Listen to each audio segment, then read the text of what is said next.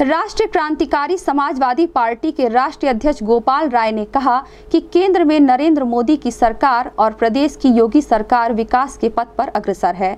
उन्होंने कहा कि सौभाग्य है कि नरेंद्र मोदी जैसा प्रधानमंत्री देश को मिला है। उन्होंने कहा कि गुरु गोरक्षनाथ के आशीर्वाद से मुख्यमंत्री योगी आदित्यनाथ के नेतृत्व में गोरखपुर और समग्र पूर्वांचल विकास की ओर अग्रसर है तथा मुख्यमंत्री के नेतृत्व में पूर्वांचल विकास का रोड मैप तैयार हो रहा है और सरकार के उन समस्त जिलों को विकास के पथ पर अग्रसर करने के लिए कार्य कर रही है।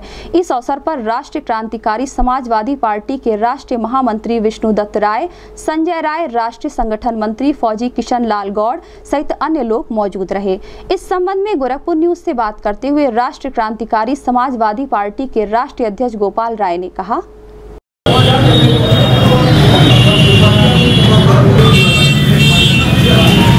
गोपाल राय राष्ट्रीय अध्यक्ष क्रांतिकारी समाजवादी पार्टी। देश वार्ता करने का मुख्य रूप ये है कि हमारे देश के प्रधानमंत्री नरेंद्र मोदी ऐसे जाबाज प्रधानमंत्री हैं कि ऐसा प्रधानमंत्री न कोई देश में हुआ है, न होगा क्योंकि वो हमारे देश के ही नहीं सोचते।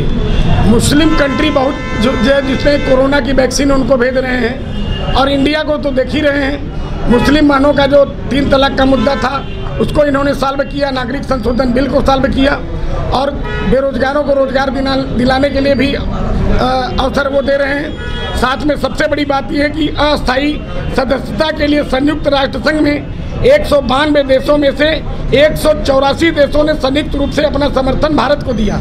यह मोदी जी की ही देन है कि एक सौ चौरानवे में एक सौ चौरासी देश समर्थन करें। यह बहुत ही आश्चर्यजनक बात है। ये देशव्यापी हर्ष का विषय है।